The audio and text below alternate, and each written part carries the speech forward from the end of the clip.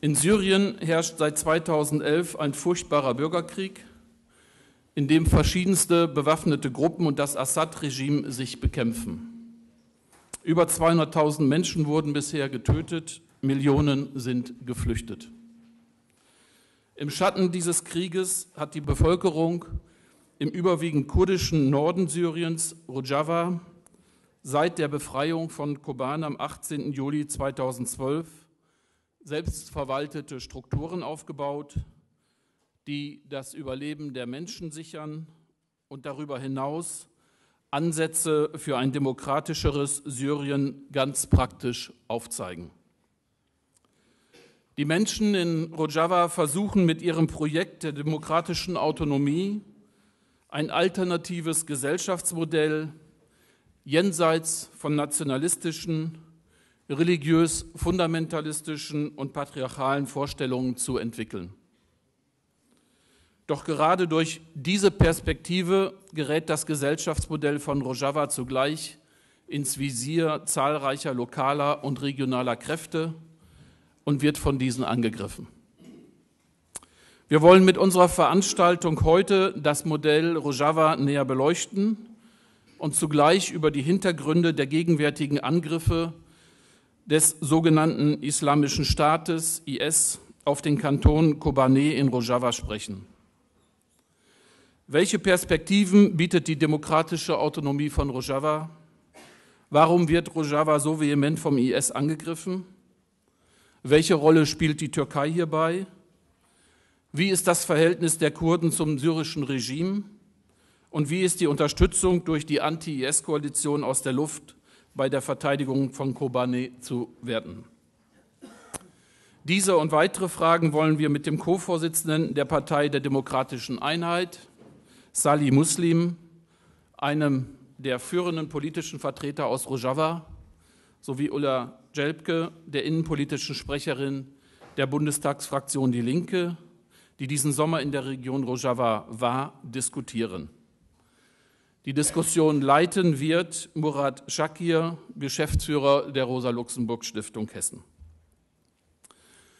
Die Veranstaltung bettet sich ein in die Bemühungen der Rosa-Luxemburg-Stiftung, den Syrien-Konflikt besser zu verstehen, linken und progressiven Vertretern der Region die Möglichkeit zu geben, sich zum Konflikt auch hier in der Bundesrepublik zu äußern, Vorschläge für die Beendigung des Krieges zu machen und internationale Solidarität einzuwerben.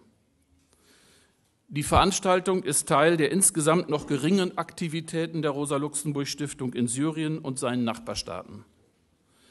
Im vergangenen Jahr haben wir eine Studie zu Flucht und Fluchtursachen in Syrien und Libanon gemacht und werden in diesem Jahr Studien zur Rolle von Sectarianism in dem Konflikt machen können. Das ist eine Begrenztheit der Ressourcen. Wir müssen sehen, dass wir umverteilen. Und ich denke, die Veranstaltungen helfen dann vielleicht auch dazu. Gleichzeitig wollen wir die interne und öffentliche Diskussion mit syrischen Politikern und Vertretern von Bewegungen sowie wichtigen progressiven Persönlichkeiten fortsetzen und syrischen Künstlern die Möglichkeit geben, sich mit ihren spezifischen Möglichkeiten zum Krieg und möglichen Auswegen zu äußern. Doch eines möchte ich aus unserem bisherigen politischen Verständnis als Leiter des Auslandsbereiches aus und für die Region dieser Veranstaltung noch einmal vorausschicken. Wir setzen uns dafür ein, erstens, dass die kurdischen Organisationen aus den verschiedenen Staaten in der Region in Deutschland frei agieren können, einschließlich der PKK, und nicht kriminalisiert werden. Zweitens, dass die kurdischen Flüchtlinge eine sofortige Aufenthalts- und Arbeitserlaubnis nach ihrer Einreise in Deutschland erhalten. Und drittens, das Verbot aus Deutschland, Waffen zu exportieren. Nicht nur in dieser Region sind es insbesondere die Kleinwaffen, die durch, durch die die meisten Menschen sterben. Rojava und Kobane. Ungefähr ein Jahr nach dem Beginn der Demonstrationen gegen, das, gegen die syrische Regierung begann die PED, die ja eigentlich seit 2004 gegen das Regime kämpft, autonome Verwaltungsstrukturen in Rojava, in Westkurdistan aufzubauen und Selbstverteidigungskräfte aus der Bevölkerung zusammenzustellen. Inzwischen existieren in drei Regionen, in Efrin, in Kobane und Jizire, demokratische Rätestrukturen. Die Kantone Rojavas, die Verwaltungseinheiten und die Selbstver äh, Selbstverteidigungskräfte sind charakterisiert durch Geschlechterquoten und Repräsentation von Bevölkerungsgruppen entlang ethnischer bzw. religiöser Zugehörigkeit. Direkte Einbeziehung der Bevölkerung in die Entscheidungsmechanismen, kostenlose Schulbildung in der jeweiligen Muttersprache, Gewährleistung der öffentlichen Sicherheit durch die Bevölkerung selbst und die Versorgung der Bevölkerung auf der Grundlage von Produktionsgenossenschaften sind weitere Kennzeichen der demokratischen Autonomie in Rojava. Anfang 2014 wurde ein Gesellschaftsvertrag, eine quasi Vorverfassung verabschiedet. Und davon möchte ich aus dem Präambel kurz was zitieren, weil das ist hier in Deutschland nicht so ganz bekannt. Ich zitiere.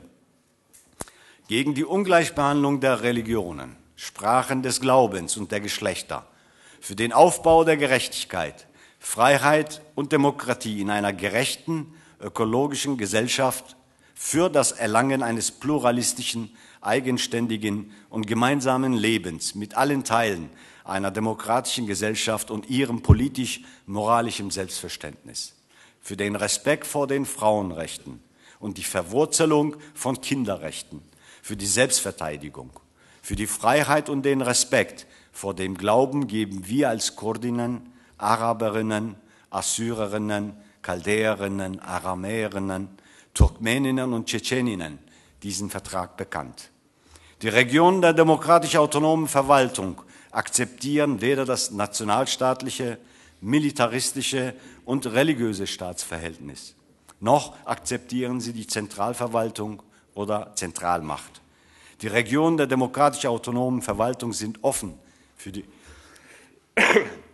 für die Beteiligung aller ethnischen, sozialen, kulturellen und nationalen Gruppen mittels ihrer Vereinigungen sowie die darauf aufbauende Verständigung, die Demokratie und den Pluralismus. Die Regionen der demokratisch autonomen Verwaltung achten den nationalen und internationalen Frieden. Das ist die Erkältung. Die Menschenrechte, sie erkennen die Grenzen Syriens an. Wenn man sich diesen Gesellschaftsvertrag ansieht, könnte man sich durchaus wünschen, mitten in Europa, dass auch die ach so bürgerlich-demokratischen Gesellschaften Europas sich mal eine ähnliche Verfassung geben könnten, zumindest in Ansätzen. Somit stellt die demokratische Autonomie in Rojava ein Gegenmodell dar, ein Gegenmodell zu den herrschenden Gesellschaftsstrukturen im Nahen und Mittleren Osten. Das ist wahrscheinlich auch eines der Gründe, warum Rojava angegriffen wird. Deshalb möchte ich zuerst Salih Müssten fragen, wie ist die jetzige Situation in Rojava in Kobane? Die letzten Informationen, die wir bekommen haben, äh, äh, die äh, Radikalen waren einmal in Osten und einmal in ähm, Süden Kobanis.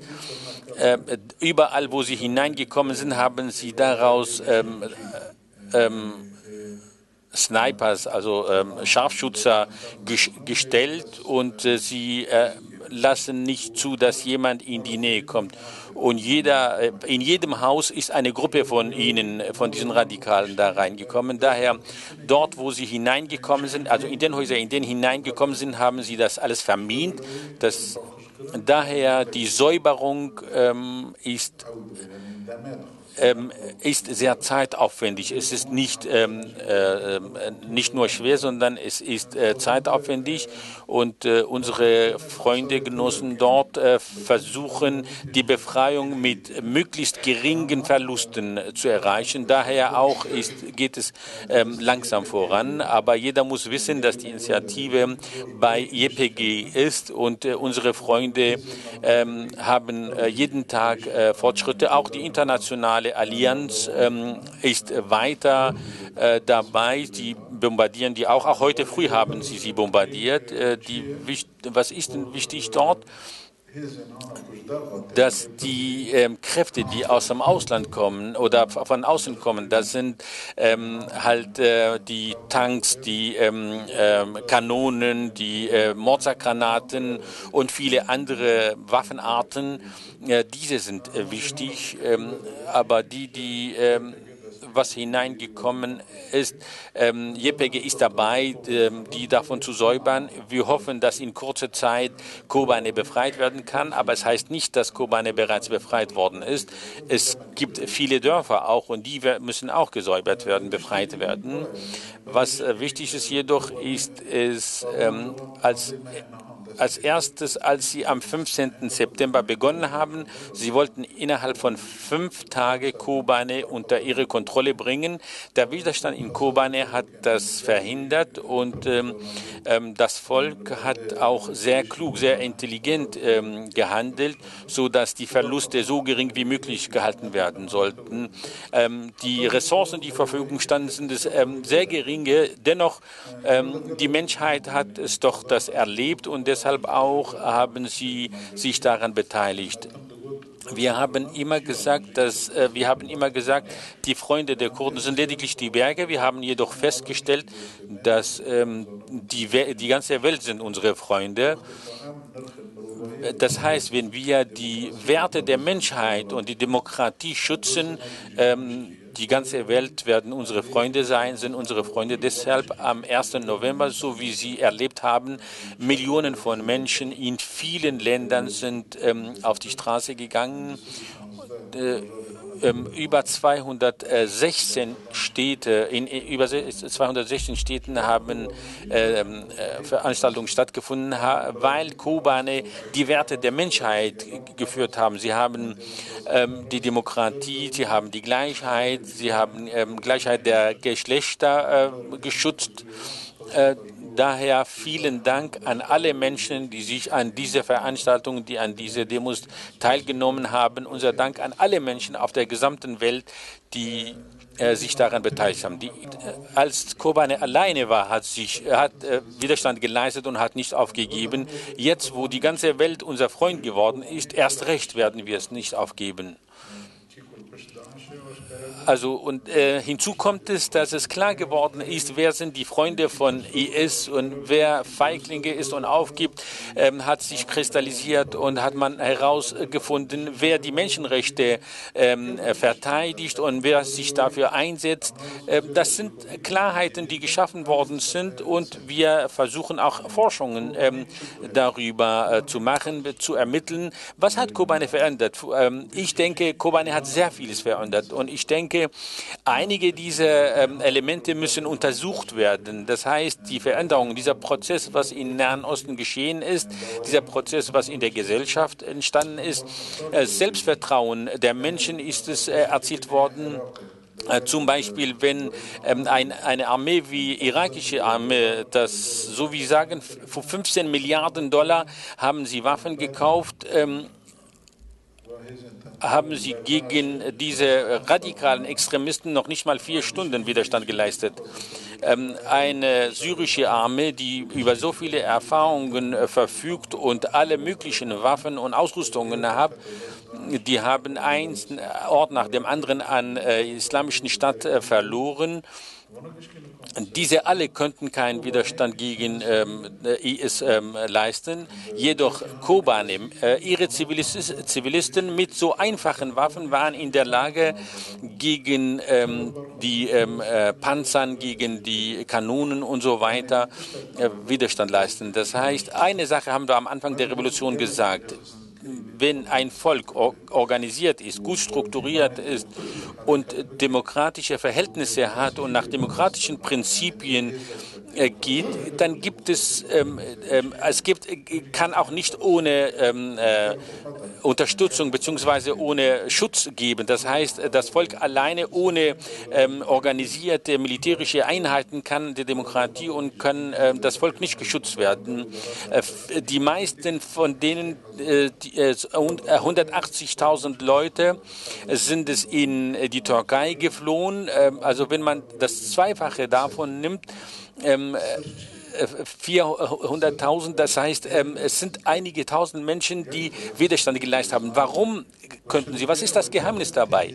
Das Geheimnis des Widerstandes ist es, dass das Volk organisiert ist, dass das bestimmte Strukturen geschaffen worden ist. Ähm, hinzu kommt, ich glaube, man kann viele Lehren aus äh, dem Widerstand aus, äh, von Kobane ähm, äh, Wieso, ähm, vielleicht die andere Frage, wieso die Angriffe auf Kobane? Wieso wird Kobane angegriffen? Es gibt ein kurdisches Sprichwort, das, das heißt, die, ähm, der, es besagt, die Hungaren such, ähm, denken immer an das Brot, an, an äh, Speisen. Äh, wir auch Kurden ähm, besonders äh, unsere Erfahrungen im 20. Jahrhundert. Wir haben immer die Gleichheit gesucht. Wir hatten ähm, Sehnsucht nach Demokratie, nach Gleichheit, Gleichberechtigung, wie ähm, wie äh, die Brüderlichkeit, ähm, weil keiner unsere Existenz, unser Dasein akzeptierte, um überhaupt mit uns Brüderlichkeit zu schließen. Äh, niemals wurden wir akzept, äh, unsere Existenz ähm, akzeptiert, um zu sagen, dass wir gleich, ähm, gleich sind.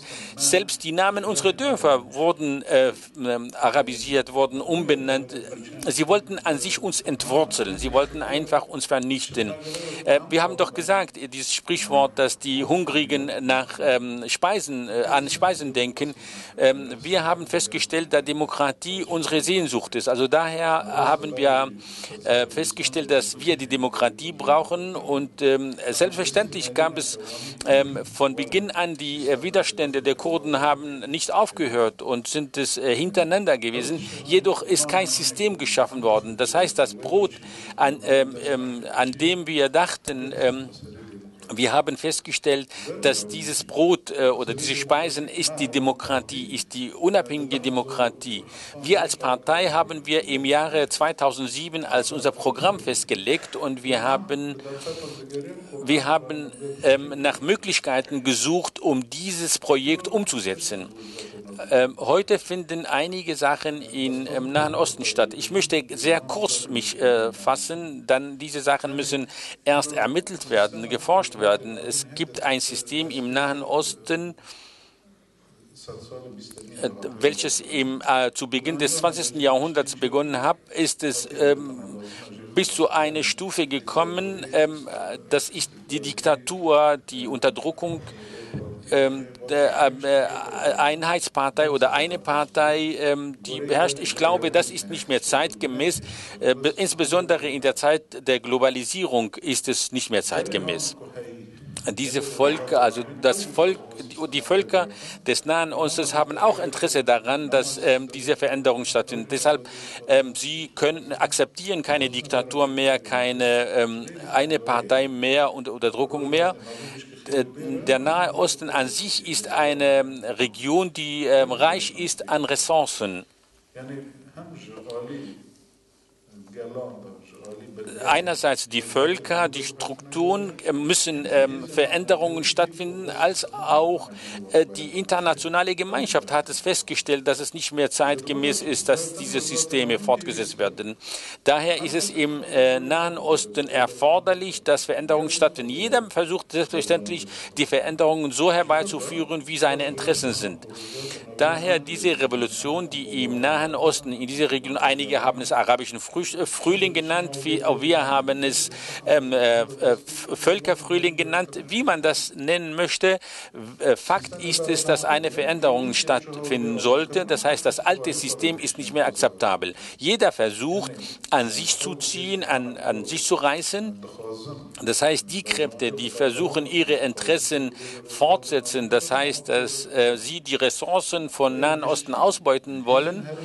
Es gibt regionale äh, Kräfte, die bestimmte Status dort haben, äh, wollen auch an sich ziehen. Jedoch das Volk möchte was anderes, möchte eine Freiheit, möchte Demokratie, äh, äh möchte vieles. Jedoch das Volk ist noch nicht organisiert. Die, diejenigen, die organisiert waren, waren wir. Wir haben ab 2007 begonnen mit unserem Projekt der Organisation. Das heißt, als die Revolution im Nahen Osten begonnen haben, haben wir umso mehr unsere Bemühungen verstärkt, um diese Organisation, der Organisationsgrad zu verstärken. Äh, das heißt, die Veränderungen hatten bereits ähm, ab 2004, 2003, 2004 oder 2005 haben sie begonnen. Also seit der Gründung unserer Partei hatten wir mit den Veränderungen begonnen. Das heißt, es gab bestimmte Strukturen, die gegeben waren, die vorhanden waren. Das heißt, ähm, die Sehnsucht oder die Suche nach Nahrungsmitteln oder nach Speisen war schon begonnen. Das heißt, äh, als in, in Tunesien, als Belid ähm, äh, sich ähm, äh, umgebracht hat, haben wir erlebt und das heißt, die Revolution ist dort entstanden, auch in Ägypten, in Libyen. Deren Revolution ist in einem anderen Wege gegangen. Das heißt, die haben die Revolution in andere äh, Kanäle gelenkt. Wir haben gesehen, dass bei uns auch die Revolution versucht wird, in einem anderen Kanal zu. Kanal zu lenken. Deshalb haben wir darauf geachtet, dass die Revolution an sich für das Volk sein soll. Das heißt, alles, was sie ähm, ähm, wollten, haben wir an sich äh, ihnen nicht zugehört. Was wir gemacht haben, haben wir das Volk geschützt.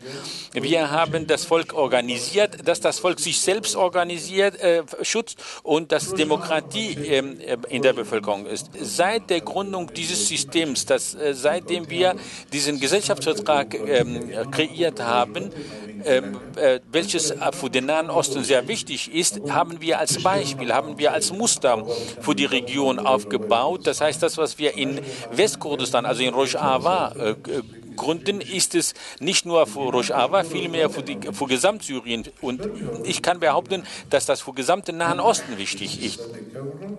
Dann ist es, ähm, um einerseits das alte System zu ähm, äh, überwinden, andererseits um äh, demokratische Strukturen zu schaffen. Einige sagen, ähm, äh, ISIS, also ähm, Islamische Staat, ist nichts anderes als ein Instrument.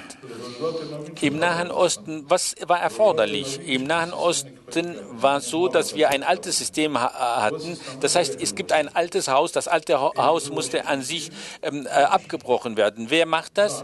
ISIS. ISIS ist das System, welches ähm, diese Abrissearbeiten übernimmt. Wer, wer will äh, wer soll aufbauen? Das heißt, ähm, ISIS ist nur dafür da, um die Abrissarbeiten zu machen, aber den Aufbau wollten sie auch übernehmen. Diese Systeme wollten an sich reißen. Ähm, wir wollten jedoch, dass das Volk das aufbaut. Wie gesagt, das ist ein Instrument. Ähm, sie sind es nicht die Wichtigen, vielmehr deren Unterstützer, vielmehr diejenigen, die das kreiert haben, diese Kräfte aufgebaut haben, die müssen abgeschafft werden. Die müssen die müssen nach äh, Den Haag kommen zu ähm, Kriminal, äh, internationales Kriminalgericht. Die müssen vor Gericht gestellt werden äh, als äh, Verbrecher. So ein System kann nicht akzeptiert werden. Viele sehen ihre Interessen gefährdet. Äh, sie, äh, ähm, sie sehen, ähm, dass deren Interessen in Aufbau der, einer demokratischen Gesellschaft, in eine Gleich, ähm, Gleichheitsgesellschaft die haben immer versucht, die Christen und Muslims gegeneinander äh, aufzuhetzen. Sie haben immer die Kurden und Araber gegeneinander aufgehetzt, Esidi und, und äh, Muslims gegeneinander aufgehetzt, um, um ihre Interessen ähm, zu schützen. Und äh, das ist das Ende dieses Systems. Das heißt, unser Kampf muss dafür sein, dass wir im Nahen Osten ein, ein System schaffen, das System, äh, dass das Volk sich selbst schützt, ähm, dass die Gleichheit, dass die Demokratie, dass die Frauenrechte, dass die sozialen Rechte ähm, da sind. Sie wollen einfach dieses System, das System, was wir schaffen wollen, zerstören. Deshalb auch ähm, sind die gekommen nach Kobane. Dennoch, heute Kobane ist auf dem Weg des Erfolges und ähm, ich glaube, dass äh, der Erfolg, den wir erzielen, ist es nicht nur ein Erfolg für Kobane, vielmehr für Nahen Osten, vielleicht für die Werte der, der Menschheit insgesamt. Die demokratische Autonomie in Rojava basiert eigentlich ja auf das Konzept demokratischer Konföderalismus, demokratische Nation, demokratische Republik von dem äh, Führer der PKK, den Abdullah Öcalan. Er hat ja jenseits des Staates, der Macht und der Gewalt ein solches Konzept entwickelt und das wird umgesetzt. Ähm, aber es gibt auch gleichzeitig andere Positionen, äh, zum Beispiel äh, in Südkurdistan wird ein Referendum vorbereitet äh, für einen möglichen Nationalstaat. Ist das ein Widerspruch zu Rojava oder ist das miteinander verbindbar? Und wie sehen Sie die Perspektiven aus? Und, also die Perspektiven von Rojava. Und wenn Sie noch ganz kurz dann sagen können, was Sie von der demokratischen Öffentlichkeit für Kobane und für Rojava erwarten, dann wäre das eine ganz gute Sache. Bitte schön. Na, äh es trifft zu, die demokratische Gesellschaft, es ist eine historische Erfahrung, insbesondere die Erfahrung aus Europa, also äh, die äh, Beispiele aus Europa selbstverständlich Referendum, das in Süden Kurdistans stattfindet. Wir respektieren das und wir respektieren, wenn das Volk eine Entscheidung trifft, haben wir Respekt vor äh, Entscheidungen des äh, Volkes. Und, ähm, aber wir haben auch eine Erfahrung. Also wir glauben, dass, äh, dass dass dieser Gedanke, den wir haben, die Idee, die wir haben, wenn äh, Bashur, also Südkurdistan, aufgebaut wird, wenn es so äh, gebildet wird, dann ähm, eine demokratische Gesellschaft. Äh, dennoch, äh, jede Entscheidung, die vom Volke ausgeht, haben wir Respekt davor. Und ähm, unser ganzes Volk in Rojava möchte die demokratische Gesellschaft, also die äh, demokratische Autonomie. Ähm, der Gedanke, der derzeit im Süden ist, ist an sich eher ein älterer Gedanke, ähm, äh, äh, einen, äh, der Gedanke des Nationalstaates. Das ist schon seit der Französischen Revolution und die Europäer haben auch äh, viele Erfahrungen in diesem Bereich. Wir haben auch vielleicht zuvor auch darüber gesprochen, vor ca. 2000 250 äh, Jahren, das heißt seit ähm, in den beiden äh, Weltkriegen sind es ca. 300 äh, Millionen Menschen umgekommen sind, um Nationalstaaten hier und dort zu bauen. Und diese äh, Nationalstaatsgrenzen sind es an sich mit Blut ähm, aufgebaut worden. Und derzeit ähm, werden diese Grenzen aufgehoben. Also wenn Sie jetzt nach Deutschland kommen, zu anderen Nachbarstadt gehen, sehen Sie auf einmal, dass Sie diese Grenzen aufgehoben haben. Warum müssen wir dann so viele Milliarden dafür ausgeben, um diese diese Grenzen aufzubauen. Deshalb denken wir, dass die demokratische Gesellschaft die Lösung ist. Äh, dennoch wir hoff, hoffen wir, dass unser Projekt in, ist nicht nur für die Kurden im Nahen Osten, vielmehr für, die gesamte, für den gesamten Nahen Osten. Und äh, wir finden an sich kein äh, Widerspruch, weil es genug Erfahrungen gibt, Erfahrungen in Europa und anderswo. Und wir haben daraus unsere Lektion äh, gelernt. Wir haben daraus gelernt, dass es findet keine. Also die, diejenigen, die diese Ideen geschaffen haben, Philosophie ähm, äh, und Ideen, ist die äh, Philosophie des ähm, äh, APO, des ähm, äh, Führer ähm, äh, Öcalan. Es ist nicht nur für eine, sondern für die Nationalitäten im Nahen Osten. Äh, als Idee ist es eine, ähm, ähm, eine, eine sehr gute Idee, aber derzeit ist es auch implementiert worden. Das heißt, es gibt auch, ähm, diese Ideen werden umgesetzt und äh, der Wille des Volkes ist entscheidend. Äh, äh in Rojava, äh, durch den Wille des Volkes haben sie diese Entscheidungen getroffen und es ist für uns sehr wichtig, äh, die, ähm, den Aufbau, die Bildung eines freien Menschen ist das Wichtigste. Und ich hoffe, dass woanders auch ähm, freie Bürger, freie Menschen stehen, die mit ihrem Willen äh, äh, es durchsetzen und die klassischen Strukturen hinter sich haben. Die Idee ist richtig und die Philosophie des APO äh, ist es und das ist, was auch umgesetzt wird. Es heißt jedoch nicht, dass, ähm, dass wir ähm, auch, ähm, dass die anderen auch das nicht ähm, umsetzen können. Die Araber können das umsetzen, auch andere Völker können das umsetzen. Daher, äh, jeder hat an sich Respekt davor, weil das auch in die Praxis umgesetzt worden ist. Vielleicht gibt es ähm, also äh, bestimmte Details, die ähm, in der Praxis stattfinden. Wir haben zum Beispiel dort Räte gebaut, wir haben äh, Volksräte gebaut, die bestehen aus Kurden, aus Araber, aus anderen. Und diese Räte entscheiden, was getan werden soll. Also vielleicht der Gesellschaftsvertrag gibt es eventuell, ähm, äh, gibt es bestimmte ähm, Ansätze, die äh, nicht in die Ideen von äh, Herrn Öcalan sind. Dennoch, das Volk hat diese Ansätze in diesem Gesellschaftsvertrag hineingebaut. Und das heißt, die Leute entscheiden zusammen, wie dieser Gesellschaftsvertrag entstehen soll und ich glaube, dieser Gesellschaftsvertrag ähm, äh, ist sehr modern, sehr fortgeschritten. Ähm, auch einige, äh, obwohl viele europäische Länder auch, ähm, ähm, äh, die sind sehr fortgeschritten in ihre ähm, Gesellschaften. Dennoch gibt es einige Ansätze, die in diesem Gesellschaftsvertrag viel fortschrittlicher sind als die Gesellschaft in Europa. Daher sehe ich keinen Widerspruch in äh, diese und gibt es keine Konflikte. Vielmehr, dass dieses Projekt eher vorankommt, nicht nur für die Kurden, äh, für die, äh, es, es ist eine Erleichterung sowohl für die Kurden wie auch für die anderen Völker, die mit den Kurden zusammenleben. Was erwarten Sie von Europa?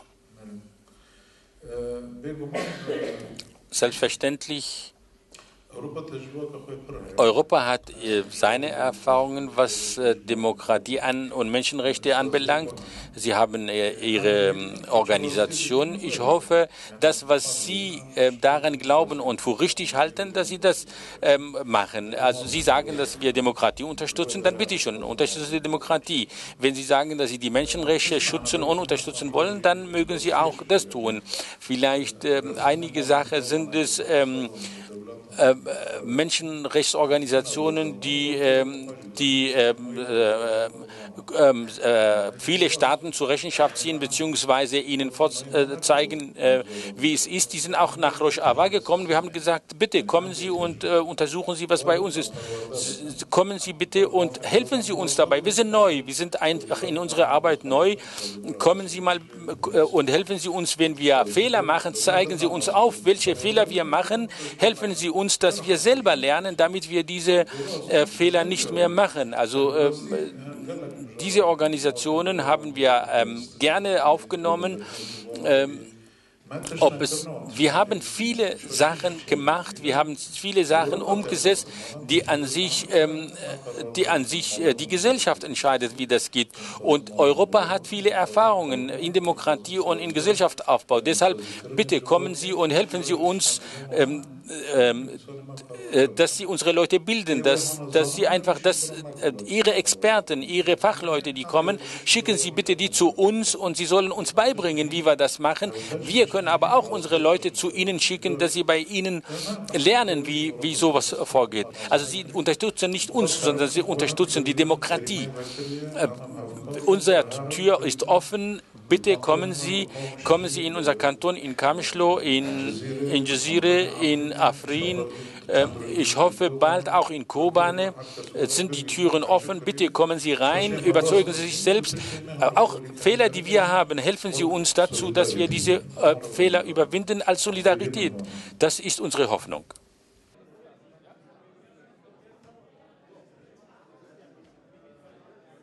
Oder es gibt Linke auch in der Türkei, die äh, sich als Internationalisten an dem Kampf der JPG und JPG-Einheiten in Kobane beteiligt haben. Sie sprechen von der Pariser Kommune des 21. Jahrhunderts. Du warst selbst da, ähm, hast, äh, kannst vielleicht deine Eindrücke darstellen, aber mich interessiert auch, ähm, äh, warum die Türkei eine solche aggressive Haltung gegenüber Rojava denn du musstest ja, du warst ja in der türkischen Seite teilweise auch und kannst uns darüber einiges erzählen. Bitte. Ja, erstmal auch von meiner Seite schönen guten Abend. Ich freue mich, dass so viele heute gekommen sind und so ein großes Interesse an dem Thema und an der Solidarität Rojavas vorhanden ist. Vielleicht zu meiner Person, wer mich nicht kennt, ich fahre seit über 25 Jahren in die kurdischen Regionen, insbesondere in die Türkei, in den Irak, aber auch nach Syrien. Und ich kenne mich relativ gut aus, nicht so gut wie die Menschen, die dort leben, aber ich glaube, dass ich schon viele Konflikte erlebt habe. Dort insbesondere äh, in der Zeit, als das türkische Militär eben ja massiv dort gegen die Kurdinnen und Kurden vorgegangen ist, gegen die Dörfer, die geräumt haben, wo man versucht hat, also im Grunde genommen den Kurden die Kultur zu nehmen. Ich habe auch erlebt, wie in Irak äh, die Kurden gegeneinander gekämpft haben, PUK gegen KDP. Und ich habe jetzt erlebt, was in Rojava aufgebaut wurde unter extrem schwierigen Bedingungen. Rojava, wir haben das alle schon gehört, ist wirklich eine Vorzeigedemokratie, kann ein, eine Hoffnung sein für dieses Syrien und für die gesamte Region. Das denke ich, ist überhaupt keine Frage, weil es stimmt einfach. Wir haben dort eine Räterepublik, eine Demokratie, die geübt wird, die eben nichts damit zu tun hat, dass Religion entscheidet, sondern äh, die Menschen entscheiden und die Sachentscheidungen sind wichtig. Und wenn ich darüber spreche, schlimme Bedingungen oder schlechte Bedingungen, dann denke ich zuerst an das Embargo, an das Hungerembargo, was die Türkei ganz Syrien auferlegt hat und was natürlich vor allen Dingen die Zivilbevölkerung dort trifft und vor allen Dingen eben auch in Rojava. Das heißt, es kommt über die Grenze überhaupt nichts rüber, keine Hilfe, nur mit großem Druck ist jetzt überhaupt jetzt in der jetzigen Situation Medizin rübergekommen oder auch Hilfsmittel von internationalen Organisationen. Und selbst ich als Diplomatin, die früher immer ganz normal nach Syrien gefahren ist, also über, über Nassaibin nach Kamischli, musste also den Umweg nehmen über den Irak, dann äh, über Semalka, wo wir äh, einreisen konnten. Also die Türkei hat die Grenzen dicht gemacht für die Menschen, für die kurdischen Menschen mit Ausnahme einer einzigen Gruppe, die zwei Pässe haben, also einen syrischen und einen türkischen Pass in Syrien. Aber dieses Embargo, will ich einfach noch mal sagen, hat die Menschen auch in Rojava dazu gezwungen, Lebensbedingungen zu entwickeln. Also vor zwei Jahren zum Beispiel, während des kalten Winters, haben die Menschen ihre Möbel zerkloppt und die Bäume abgehackt, damit es überhaupt warm wird. Sie haben in dieser kurzen Zeit es geschafft, äh, äh, Generatoren zu bauen, die heute immerhin in der Lage sind, den Leuten dort drei Stunden am Tag Energie zu geben. Und das muss man sich einfach mal vorstellen, drei Stunden am Tag. Als wir im August da waren, waren 47 Grad in Schatten. Und äh, wir, hatten das damals, wir hatten es nicht so geplant, aber als wir dort ankamen, hat JPG und PKK gerade die Flüchtlinge den Korridor gebaut, also zu Schengal. Und ich will hier einfach auch noch mal deutlich sagen, Kobani ist ein Punkt, der angegriffen wird. Aber wir haben auch massive Kämpfe weiterhin in Schengal. Is der Is dort versucht nach wie vor die Heiligtümer der Jesiden zu zerschlagen. Es gibt ungefähr rund 10.000 Jesiden, die dort in dieser Region noch leben. Und sie rufen auch danach, dass sie Hilfe brauchen, humanitäre Hilfe. Die Leute können einfach nicht raus. Sie sind eingesperrt, genauso wie die kämpfenden Menschen zurzeit in Kobani. Weil die Türkei macht die Seite dicht und auf der anderen Seite kämpft IS.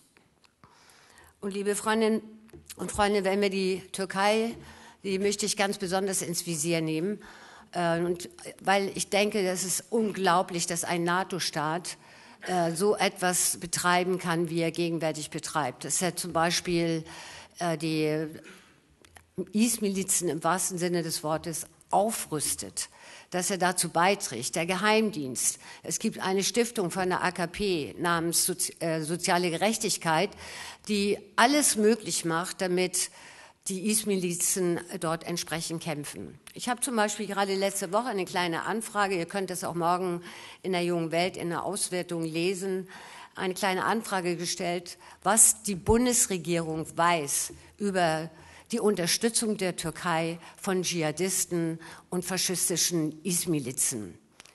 Ihr müsst euch vorstellen, dass Fragen nach Waffen, die über die Grenze gebracht werden. Also die Bundesregierung weiß ganz genau, dass IS-Milizen dort fünf Grenzen kontrolliert, an der türkisch-syrischen Grenze.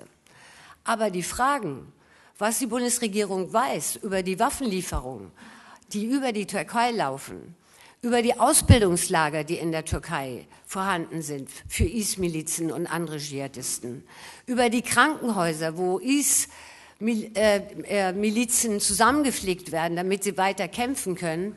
Ihr werdet es nicht glauben, diese Antworten sind geheim. Und was sagt uns das?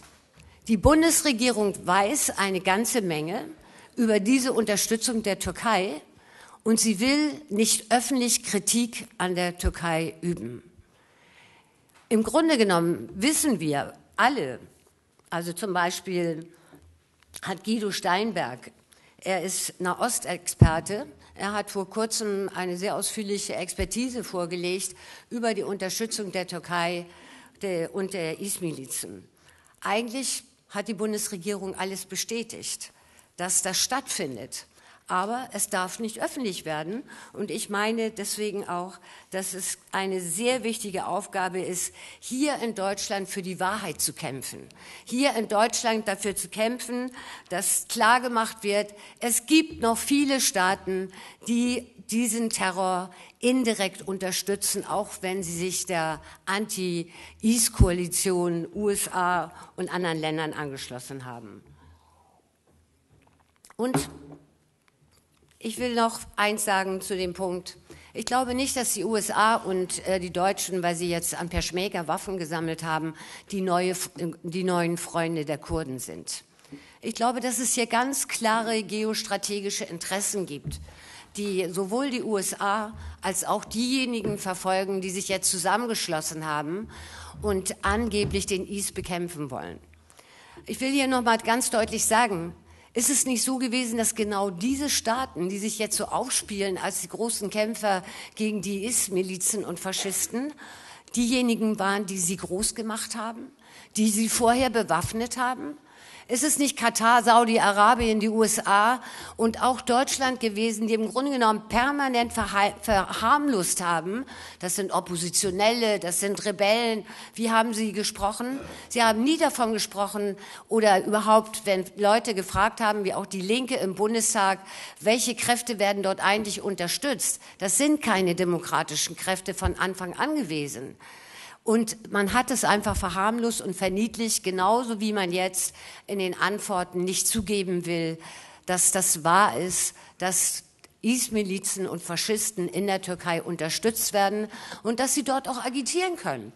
In den kurdischen Gebieten in der Türkei können IS-Leute mit Flugblättern, mit Flyern Anwerbung machen, setzen Leute unter Druck und äh, sie sind einfach auch dort präsent, ohne dass der türkische Staat irgendetwas unternimmt. Und warum? Weil er im Grunde genommen, Erdogan hat das sehr deutlich gesagt vor einigen Wochen, er sieht überhaupt nicht ein, warum die, die entscheidenden Terroristen, PKK und Assad, warum man die nicht bekämpft und wieso eigentlich IS.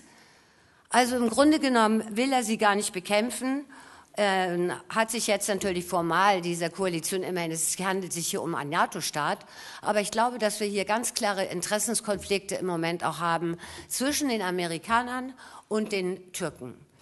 Ich meine, man kann sich das einfach, wenn wir uns überlegen, die Wochen, die wir jetzt vom Fernseher gesessen haben, gesehen haben, was mit Kobani passiert ist doch eine einzige Blamage gewesen für Obama, der nicht mal in der Lage war, so einige Truppen von IS-Milizen äh, dort einfach mal wegzufegen.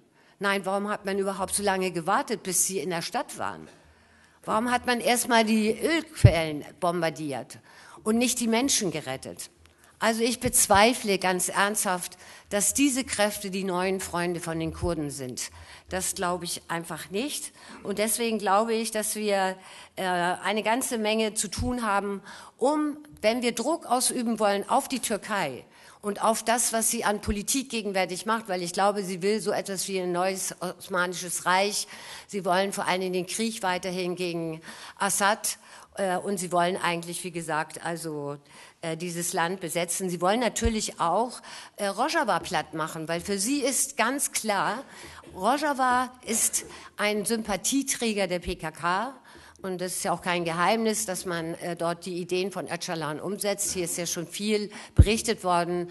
Also ich fand auch sehr imponierend, äh, wie, welche Rolle die Frauen in Rojava spielen.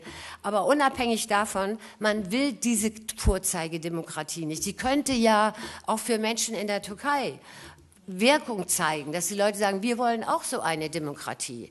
Und genau das äh, will Erdogan verhindern. Deswegen fordert er auch ständig seine Schutzzone dort. Zum Glück kann man sagen, weder die NATO noch UN wollen das gegenwärtig. Aber wenn das gemacht worden wäre, würde das bedeuten, äh, dass Rojava einfach von der Türkei überrannt wird. Und diese Genehmigung, dafür müssen wir auch weiter kämpfen, äh, dass sie nicht erteilt wird. Und vor allen Dingen bin ich der Meinung, auch die deutschen Raketen, die Patriot-Raketen müssen dort abgezogen werden, damit Deutschland nicht in einen neuen Krieg oder möglicherweise auch in einen Krieg verwickelt wird. Denn genau deswegen stehen dort die Raketen. Ähm, wenn ich davon gesprochen habe, dass es geostrategische Interessen gibt, dann will ich auch noch mal darauf kommen, warum spaltet Deutschland die Kurden?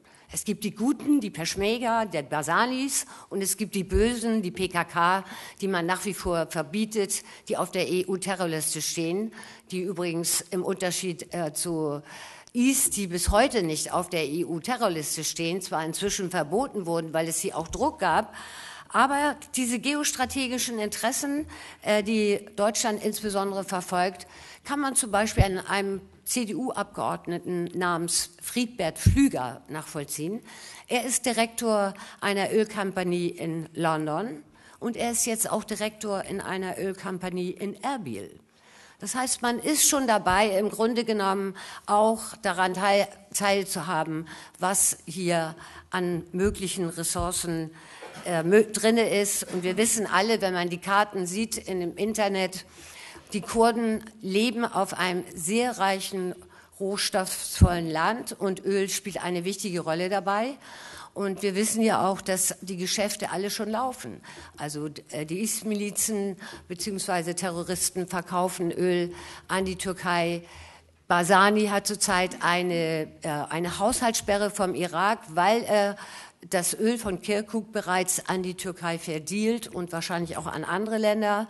Deswegen hat er eine Haushaltssperre. Also wir dürfen meiner Meinung nach nicht aus den Augen verlieren, dass hier eine ganz klare Interessenspolitik stattfindet. Was nicht heißt, dass man deswegen nicht auch das nutzt, also natürlich will ich nicht verheimlichen hier, ähm, das, oder will auch deutlich sagen, eine Selbstverteidigung der Kurden, das ist überhaupt kein Thema, auch in der Linksfraktion nicht, in der Linkspartei nicht. Und natürlich habe ich auch manchen Augenblick geglaubt, diese Atempause, die einige Bomben äh, den, von den Amerikanern den Kurden verschafft haben in Kobani, keine Frage. Aber die, das Bombardement der Amerikaner, das wird keine Lösung sein. Davon bin ich fest überzeugt. Denn letztendlich, das sieht man ja auch jetzt, wird man, werden die Menschen selber kämpfen müssen. Kobani kann nur von den Kurden befreit werden und von niemand anders. Wenn dort interveniert wird, wird, wird dieses Land den Kurden nicht mehr gehören. Davon bin ich fest überzeugt. Ich will noch ein paar Punkte zum Schluss sagen. Wir können keinen Stellvertreterkampf führen. Das müssen, wie gesagt, die Menschen vor Ort und in den Ländern in der Türkei für Demokratie, in Rojava, in Syrien, aber eben auch im Irak. Auch die Frage, ob es einen kurdischen Staat geben soll, ja oder nein, ich finde, das müssen die Kurden selber entscheiden. Wir müssen hier unsere Schwerpunkte darauf legen, endlich dieses PKK-Verbot aufzuheben. Deswegen wird die Linke jetzt im Bundestag einen Antrag einbringen, nach 20 Jahren das erste Mal. Und das finde ich ein ganz wichtiger Punkt, dass endlich die Menschen, die hier kurdische Politik machen wollen, Interessen vertreten wollen, entkriminalisiert werden. Und deswegen muss dieses Verbot endlich weg. Das ist ein ganz wichtiger Punkt. Ein zweiter Punkt ist, wir müssen unsere eigene Regierung unter Druck setzen, dass sie Länder wie die Türkei unter Druck setzt. Schließlich ist es NATO-Partner. Wir müssen dafür sorgen, dass das Embargo wegkommt, weil dieses Embargo drangsaliert Menschen und äh, macht, ihnen Lebens, macht die Lebensbedingungen extrem schwierig. Und was besonders wichtig ist, wir müssen hier für Humanität kämpfen, was die Flüchtlinge nicht nur aus Kobani, sondern insgesamt aus Syrien, aber auch ganz besonders im Moment für die kurdischen Flüchtlinge, weil die Türkei kennt ein Zweiklassensystem, was Flüchtlinge angeht. Diejenigen, die aus der sunnitischen Ecke geflohen sind und in die Türkei geflohen sind, die Lage habe ich auch gesehen. Dort findet man Werkstätten, dort gibt es Supermärkte, dort gibt es winterfeste Häuser beziehungsweise Zelte. Die Lager, die man von den Kurden gegenwärtig sehen kann, sind erbärmlich. Und die Türkei hat bisher nicht einen kleinen Finger gerührt, um dort wirklich Hilfe zu leisten. Wenn, dann machen das vor allen Dingen dort die Kurden und einige wenige internationale Organisationen. Und auch hier haben wir die Aufgabe, Solidarität zu zeigen mit den Flüchtlingen und mit der Bevölkerung, auch in der Türkei, mit der kurdischen Bevölkerung, denn die leistet das im Wesentlichen seit dem Sommer, wo viele Flüchtlinge gekommen sind. Ja, und wir müssen vor allen Dingen ähm, dafür sorgen, dass die, ähm, ja, diese Situation der Verteidigung, dass äh, dort auch entsprechend ein Korridor her muss. Die Türkei muss gezwungen werden, dass nach äh, Kobani ein Korridor geöffnet wird, damit dort entsprechend äh, die Lebensmittel natürlich auf Waffen rein und rausgebracht werden können und ähm, ja, also wirklich eine Versorgung möglich ist und keine weitere Kriminalisierung. Denn viele von euch wissen, dass zurzeit die Menschen, die verletzt rausgebracht werden aus Kobani, in Kranken ins Krankenhaus kommen, selbst dort verfolgt werden von den türkischen Behörden. Und das halte ich als für einen einzigen Wahnsinn, äh, dass man dort äh, die Menschen ins Gefängnis steckt, die gegen Isfaschisten kämpfen. Und das scheint hier noch nicht angekommen zu sein. Und deswegen glaube ich, unsere Aufgabe muss sein, Druck auf unsere Politik zu machen. Und äh, ja, ich danke euch für eure Aufmerksamkeit und freue mich auch auf eine gute Diskussion mit euch. Ja, liebe Ulla, äh, noch nicht befreit von den Fragen. Okay. Ähm, nur zwei Sachen. Äh, natürlich im Zusammenhang mit der Politik der Bundesregierung sprechen gehässige Mäuler von einer heuchlerischen Politik. Denn vielleicht ein paar Zahlen.